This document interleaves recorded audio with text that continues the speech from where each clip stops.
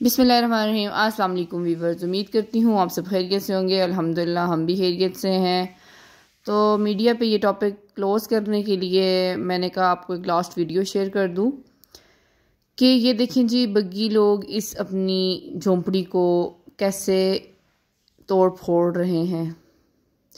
जबकि ये झोंपड़ी सायदा ने बनाई थी और सायदा ने बना के इस पर सारा ख़र्चा करके ये बग्गी लोगों के हवाले की थी। ये वाला रूम शायद जो हमारे पुराने सब्सक्राइबर हैं, उनको इस चीज़ का पता होगा।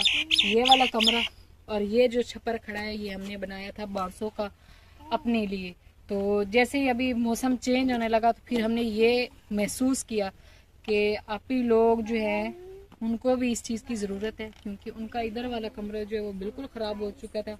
और यहाँ पर हर साल ही ये कमरे नए बनाने पड़ते हैं। तो इनके पास इतनी ज़्यादा गुंजाइश नहीं थी कि एक इस तरह का सादा मट्टी का कमरा वो भी बना सके, क्योंकि इसमें भी बाँस लगे बांसों पे भी ज़ाहिर बात है खर्चा आता है।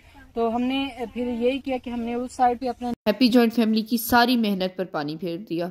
और जहाँ तक बात है इनके अपनों की, मुझे इनके बहुत ही, अपने ने कांटेक्ट किया, ये वीडियोस शेयर की कि आप देखें, ये है, वो है, ऐसा हो गया।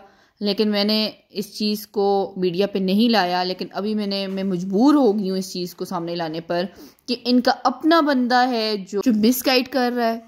और उसने बहुत कोशिश की है हर तरफ़ से मिसगाइड करने की, लेकिन उसको मैंने बहुत समझाया। इतना समझाया कि शायद अभी जाके वो जिस टीम समझा, लेकिन फिर भी ना समझ सका।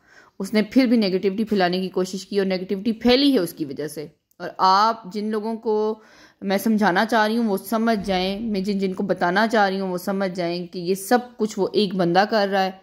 अब मैं मेंशन नहीं करना चाहती उसका नाम कि चलें, उसकी इज़्ज़त है, रह जाए थोड़ी सी। लेकिन एक चीज़ मैं बताना चाह रही हूँ कि ये सब कुछ वो करवा रहा है ताकि हैप्पी जॉइंट फैमिली और बग्गी फैमिली आपस में एक ना हो सकें और ये इसी तरह एक दूसरे से दूर हो जाए और बगी को उनको फैम ना मिल सके और वो इसी तरह सारी ज़िंदगी खेतों में काम करते रहें और उनको पैसा कभी भी ना हासिल हो सके।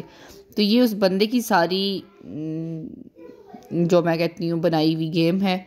तो प्लीज़ इससे बचें और मैंने बस ये थोड़ी सी चीज़ आपसे शेयर करनी थी। और अगर वो बंदा बाज ना आया तो उसके सारे मैसेजेस विद प्रूफ मैं मीडिया पे शो करूँगी और उस औरत का भी बोलूँगी जिसका नाम लिया है कि ये है जद, मतलब जो जादू करती है इसको भी एक्सपोज करें। अगर आपने ये चीज़ एक्सपोज की तो उस बंदी का भी बोले उसको भी एक्सपोज करें उसको भी मीडिया पे लाएँ। नहीं तो मैं खुद इकरार हसन को भेजूँगा। ऐसे वैसे मैसेज उसने मुझे किए हैं। मैं बाकायदा उस बद्दी जादू करने वाली का नाम भी मैंशन किया हुआ है। वो सारे मैसेजेस मैं मजबूर हो जाऊँगी मीडिया पर शो करने के लिए।